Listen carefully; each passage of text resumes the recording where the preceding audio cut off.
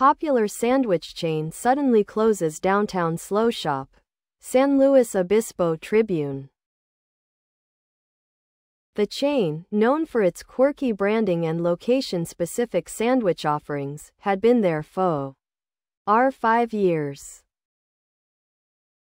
Below are your comments.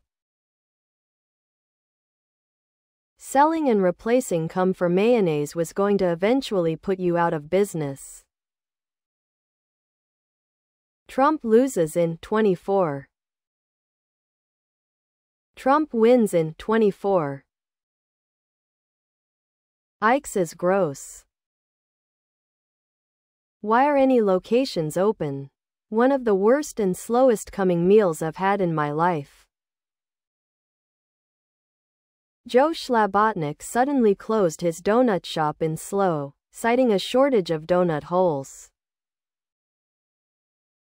Please subscribe to my channel. And if you like it, please thumbs up.